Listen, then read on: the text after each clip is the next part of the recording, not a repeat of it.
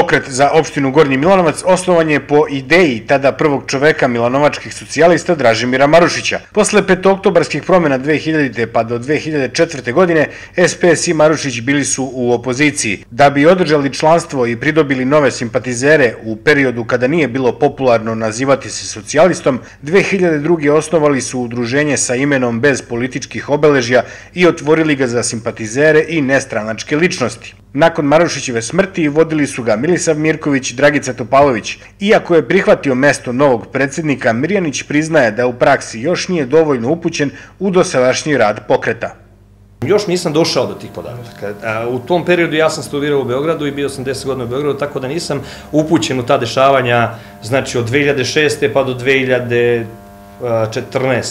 Krajem 14. ja sam bio ovaj, van Milanovca i nisam imao nikakve informacije o tom pokretu i sve. I ujedno sad kada sam izabran za predsjednika krenuo sam da se bavim time i znam da se ovaj da je bio malo kako kažem povučen nije nije bio toliko aktivan Bez obzira na to, tvrdi Mirjanić, u novom vremenu pokret za opštinu Gornji Milanovac neće igrati političku igru za SPS i služit će isključivo za pronalaženje, kanalisanje i realizaciju dobrih ideja koje može doneti bilo ko, bez obzira na partijsku ili neku drugu angažovanu pripadnost.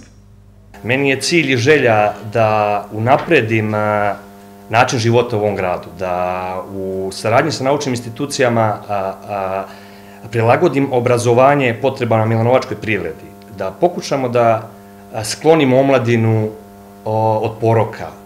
Prvi put u ulozi predsednika organizacije koja je za mnoge pala u zaborav, iako svojevremeno nije igrala beznačajnu ulogu na političkoj sceni grada, Mirjanić govori i o preporukama za tu funkciju. Bio sam u studentskom parlamentu od 2007. godine do 2012. godine bio sam jako kotirani ovaj član udruženja i e, član e, KST e, studentske organizacije.